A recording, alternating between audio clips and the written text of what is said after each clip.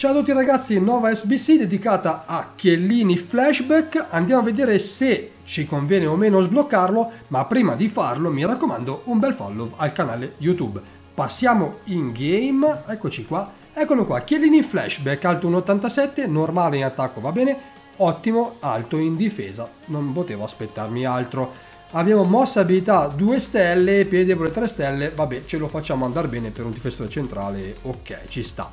Passiamo agli attributi. Allora, abbiamo 80 di velocità con 79 accelerazione e 81 di scatto. Mm, un po' troppo, troppo lento per il metagame che si sta un po' mm, effettivamente proponendo in questa, in questa fase di gioco che sarà sempre più rapido. Quindi attenzione, giocatore un po' troppo lento.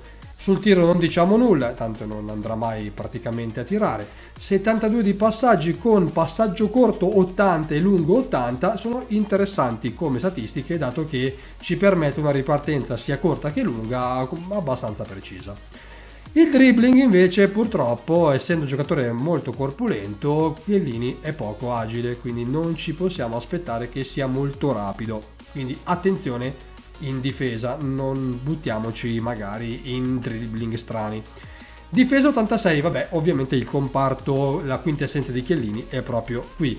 Intercettazioni 86, faccio sempre fatica a dirlo buono sicuramente, lettura difensiva 90 e contra 86 è abbastanza automatico, quindi insomma in difesa, in area si fa sicuramente si fa fatica a superarlo. Ovviamente attenzione però alle ripartenze, alle rincorse con questo giocatore che non è effettivamente rapido.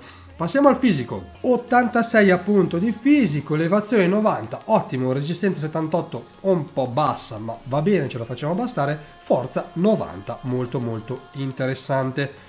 Andiamo a vedere però quanto ci costa l'SBC. Eccole qua. Sono tre SBC, un giocatore colpi di mercato sull'82 di overall, qui ci alza il prezzo sicuramente.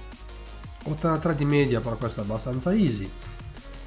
E il TOTV con 84 di media, qui anche questo è abbastanza easy. Se facciamo il conto, diventa un po' cara a causa di questo giocatore colpi di mercato a meno che non l'avete sbloccato negli obiettivi, allora effettivamente si abbatte abbastanza il prezzo.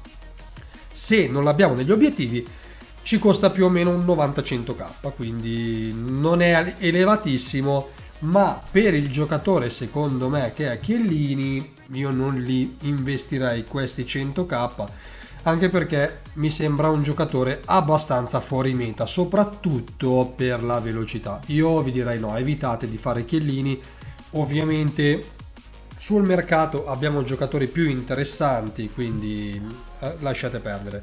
È uscito Skriniar in versione, la, mm, me la sto scordando, quella colpi di mercato, e quindi mm. quello mm. molto interessante. Vibro il telefonino, colpa mia.